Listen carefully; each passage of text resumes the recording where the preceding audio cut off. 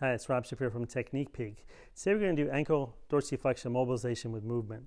We have Antonio precariously standing up there, so obviously be careful with your patients. What we're trying to do is we're trying to take that talus and go posteriorly using mobilization with movement.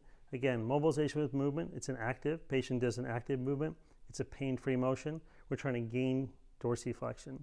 Some of the keys, so we'll take a belt, we'll put it around. We'll put something behind his Achilles so it's not so uncomfortable. Okay, put it through there. Put it around me. Make sure I don't pull Antonio past me. So what I'm doing now is I'm doing this an anterior glide of the tibia.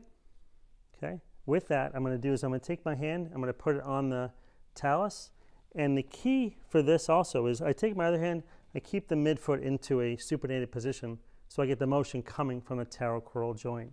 So my left hand is on the, you can't see it, it'll be right on here on the talus. So if I find the talus by finding the end of the malleoli, dropping down and getting my hand inside onto the talus.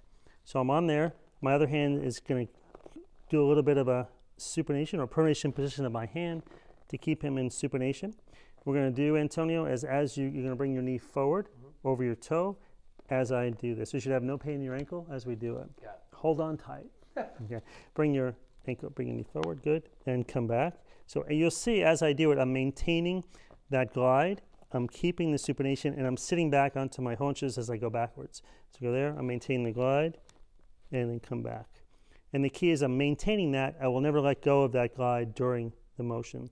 Until I try it again, keeping your knee past it, further, further, further, and come back up. So again, this hand's keeping the supination. This hand is doing the posterior glide and repetitions. And we can make this a home exercise program as well. Okay, it's Rob Shapiro from Technique Peek.